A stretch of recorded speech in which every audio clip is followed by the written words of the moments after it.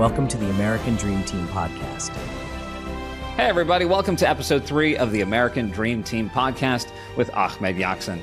I'm Matt Sky. Ahmed is a seasoned Tampa based immigration attorney helping clients nationwide with deportation defense, green card applications, asylum claims, and more. Ahmed, thank you for your time today. Thank you so much for having me. It's a pleasure. So let's jump into visas. Ahmed, can you introduce us to the concept of investment visas in the US and explain the types available to foreign investors? There's literally an alphabet soup of visas in the United States. Almost every single letter in the alphabet is taken with a type of visa. There are a bunch of visas that you can actually use to remain here in the United States through an investment visa. There are a couple that allow you to do it on your own, a couple that you actually have to have an employer sponsor you.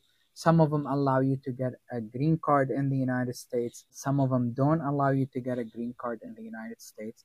But the the two most prominent investment visas are the E visa and the L visa. The e visa is actually one of my favorites. I do them all over the world, li- literally. I've done cases in, in the UK, done cases in Egypt, Jordan, done cases in Turkey, done cases in Bahrain. The e visa is based on a treaty that the United States has with certain countries. So, treaties that it has with about 46 countries the last one that I know of that we added to the list is Israel. It allows you to apply for a visa either here in the United States or in your country, and it will allow you to get it to get it for five years or two years, depending on where you apply for it, and allows you to come to the United States and open a company that either trades with the United States, that has substantial trade with the United States, or a company doing business in the United States, which is generating money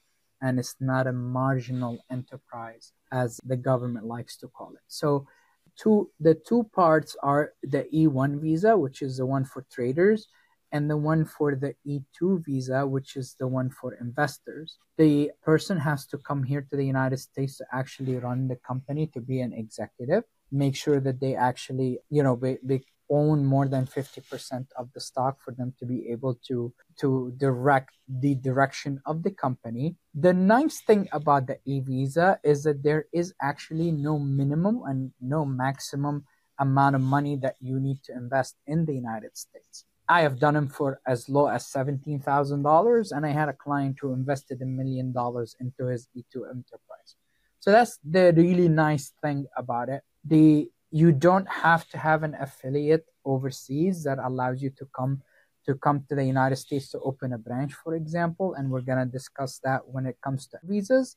So you can have a standalone enterprise in the United States, and you can come here on the E2 visa. The second visa that I was talking about is the L the L visa. There is L1A and, and L1B. The L visa is for managers or for people with special skills, managers or executives of a branch of the company that is overseas as trying to open an affiliate or a branch in the United States. And that person comes here to either establish that company and run it or that person has what's called specialized knowledge in the company's processes for them to be able to come here and run that they do that they use that specialized knowledge in their work here in the United States. Now, both of those visas allow employees to come under under the E and the L visa with a specialized knowledge under the L without special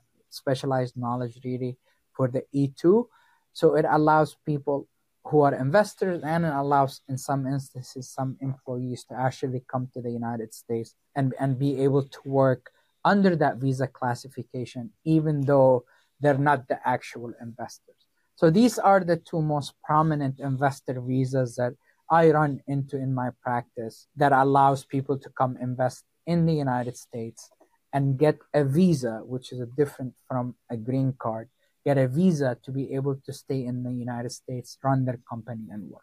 Now, we just touched on this, but maybe could you reiterate for us some of the primary benefits and advantages of an investment visa versus other types of visas? Money talks, right? So if you're if you're coming to the United States to invest invest a hundred, a hundred fifty, two hundred thousand dollars, you probably are going to have better a, a better luck getting the visa overseas than trying to apply for what's called like for a visitor visa or some visa for you to come to visit.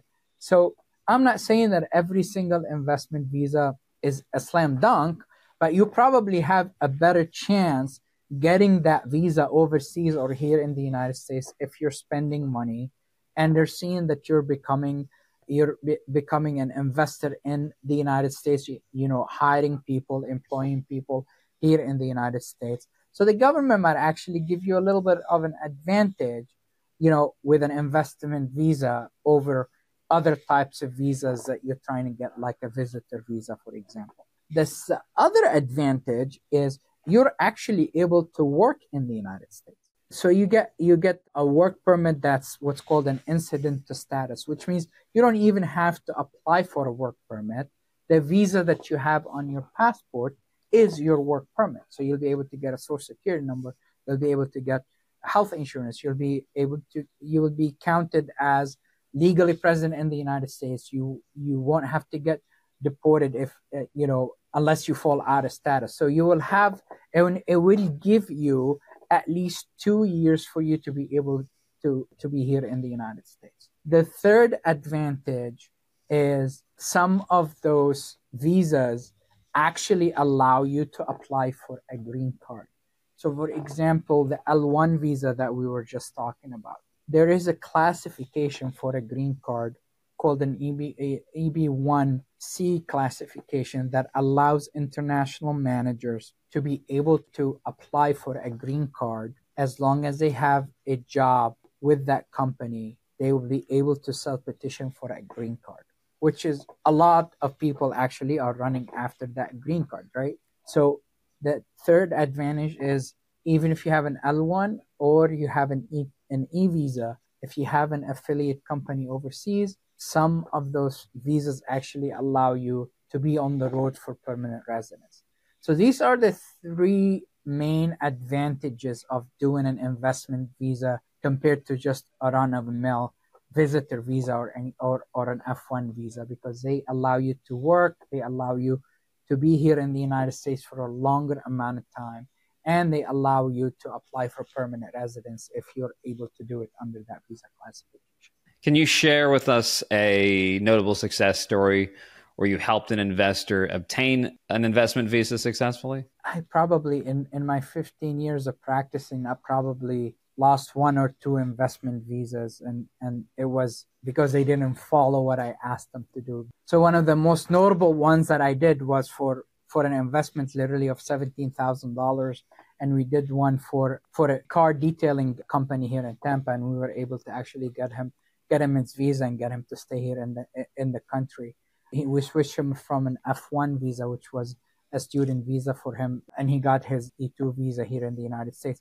Another one is one of my favorite ones was an investment in a in a grocery store, uh, a 1.4 million dollars that allowed him to actually get the E2, and we were able to switch him through a process called an EB5 petition to switch him to get a green card here in the United States because of the amount of the investment.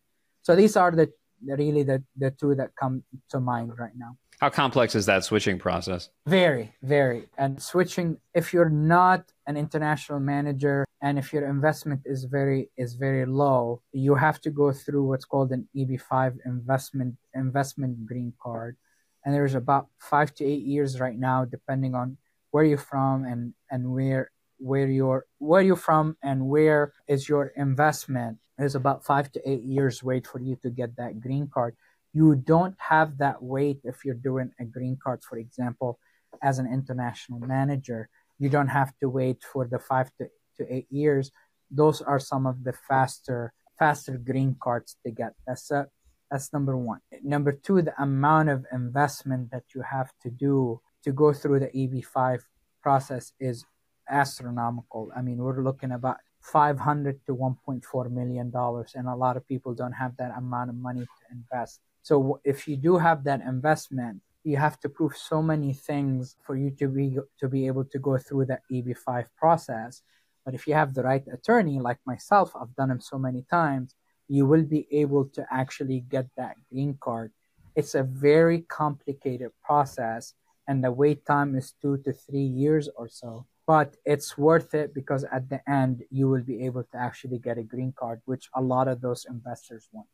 So, in your experience, are there any particular strategies or approaches that have been most influential in securing favorable outcomes for investment visas? Following your attorney's advice. Uh, don't change your investment strategy after we filed the petition because it's going to be impossible to actually get over that, and the government does not like that. If you only have $500,000 to invest and you're going to go broke, for example, for if you invest that $500,000 into a green card, I tell people I wouldn't even apply for the for the green card for them because honestly, it wouldn't it wouldn't make sense. You probably lose your your shirt, you know, over trying to get a get a green card. One of the things that I absolutely love to do when we're talking about an EB5 petition is do it invest into a piece of land, for example, that and the person will be able to build their business on that piece of land. And if anything happens, at the end of the day, we can sell the piece of land and get the money back for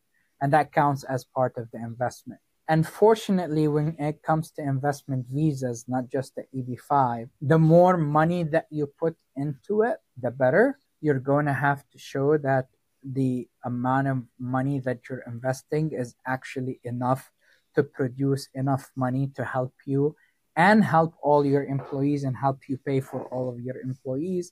That's why the government asks for financial projection. So if your if your investment is very low, that is going to be a very hard case to win. Especially if you tell them that you're going to hire five or ten people down the road. If you're just investing a low amount of, amount of money, is going to be an issue. So those are some of the strategies and some of the advice that I give to my clients. But of course, to get more wisdom from me, hire me, and I'll be more than happy to guide you through all. Seems like good advice. Any any additional tips for foreign investors applying for an investment visa in the U.S.? I mean, you have a lot of experience with successful clients here. Stay away from food. So if you a lot a lot of people come here and say, "Well, my cooking is absolutely fantastic." Okay, does that mean people are gonna like your cooking? I don't like food investment or investment into restaurants unless the person is buying a established restaurant that has been around for a very long time. And I've done them successfully for people who actually bought pizza parlors that have been around for 30 or 40 years. And that and they actually the previous owners sat down with them and stayed with them for six months to actually train them on all aspects of the of the business.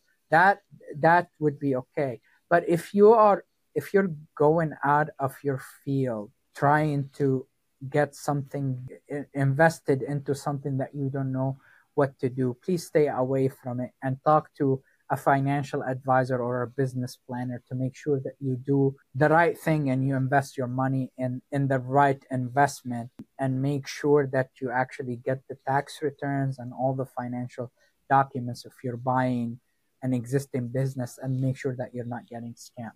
But stay in your lane, do things that you actually will know how to, how to do, and you should be okay through your investment, and your investment should last you a long time. I know food is a notoriously difficult business. Are there any industries you recommend generally? Service industries. I've done them for cell phone stores. I've done them for franchises. I love franchises because you you are going to have some guidance from the franchisor to know how to actually run the company and all of that stuff. Absolutely love franchises. Even I've done them for franch- food franchises, and they were actually very successful. Like a I did one for a Subway, a chain of Subway restaurants, for example. Those are okay, but a standalone food business will probably be an issue. Anything related to service actually is a fantastic investment idea. And Ahmed, as we wrap up, if you had one key takeaway for our listeners, what would that be? An investment visa is a great way to get on the road to your American dream. You're going to be able to bring your whole family with you. You're going to be able to work, you're going to be able to make money, you're going to be able to apply for permanent residence. So if you are a person who's trying to come here to the United States and you have the ability to invest money into the United States, that is a great way to begin your American dream, and it will put you a long way on that journey. Especially if you invest a lot of money into the United States, because the United States wants wants you to help our our citizens and actually help help people and the United States wants you to contribute to the economy in the United States and that will put you on on on an advantage over a lot of the other people who are trying to come here to the United States. So investments work and they put you on your road to your American dream. I think that's a great point to wrap on. Everybody, thanks so much for tuning in to the American Dream Team podcast. For more information or to schedule a strategy session with Ahmed Yaksan, visit americandreamlawoffice.com or find them on social media. Ahmed, thanks so much for your time today. Thank you. Thank you so much. Thanks for watching. Be sure to hit that like and subscribe button and leave us a review in the comments.